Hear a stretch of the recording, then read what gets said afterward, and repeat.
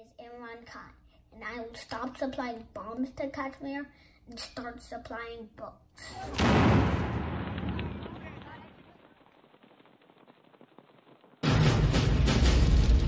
My name is Narendra Modi, and I will stop hating on Muslims. On August 25th, Suborno Isaac made a trip to a historic university to give a speech.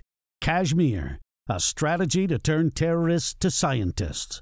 In his speech, Suborno criticized Prime Ministers Narendra Modi and Imran Khan. I came to Yale University not to praise Narendra Modi or Imran Khan, but to criticize their policies on Kashmir. I came here to tell Mr. Modi to restore Article 370 immediately. Although he's a Muslim, Suborno gave his Kashmir speech as a human to avoid disrespecting his great great great grandfather, who was a Hindu. I was born in an American Muslim If I were to give this speech as a Muslim, I would be biased to Islam, which would be an insult to my great great great grandfather.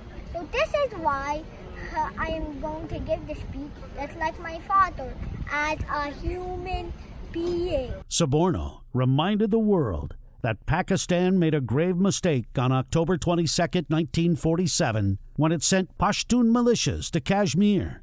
India failed to learn from Pakistan's mistakes. As a result, history repeated itself on August 2019 when India made the same mistake by removing Article 370 from the Indian Constitution. The Modi and party BJP thought by removing Article 370 they corrected historic blunder, but they actually killed a historic fact.